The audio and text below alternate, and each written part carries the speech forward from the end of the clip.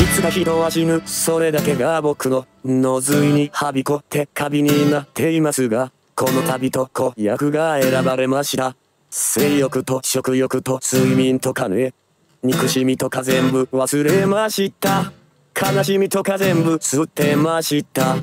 思い出すことはかすかにありますが、僕はもう大人になりました。生きる意味はそれなりにあるし死んでしまう時に死ねばいい話だろ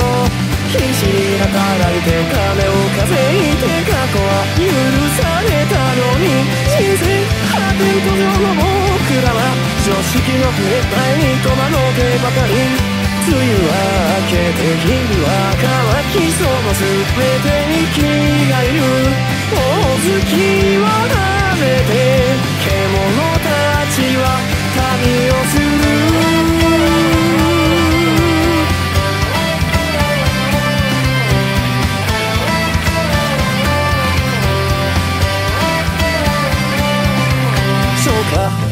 みかんの雲の胃が絡まる手で撫でた草の匂いを思い出す晩夏死に際思い出す。君の肌にくしゃみをした。仕事ありはビールを飲んで大団円の映画で夜に染まる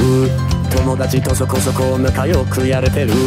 干からびる日々の裏で鳴り響くなどか恨まないでくれあの匂いがいつまでも鼻をくずる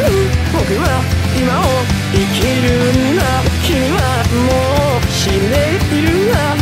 生きた証がしキロに残って意味が過ぎ去る日々が人生終わりを見せる僕らには到底生き地獄にしか思えない正義ってなんだ道徳ってなんだ日々が流れ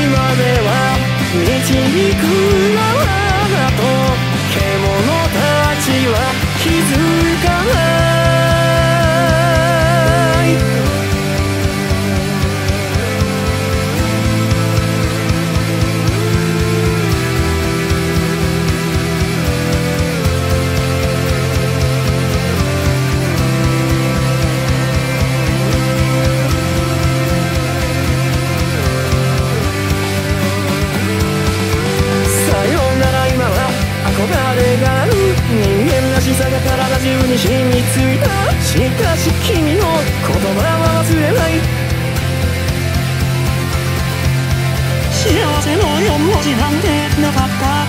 今となっちゃどうでもいいさ愛がなんだ夢がなんだそれが金になるのか。人生破天荒の僕らは正しさと成長を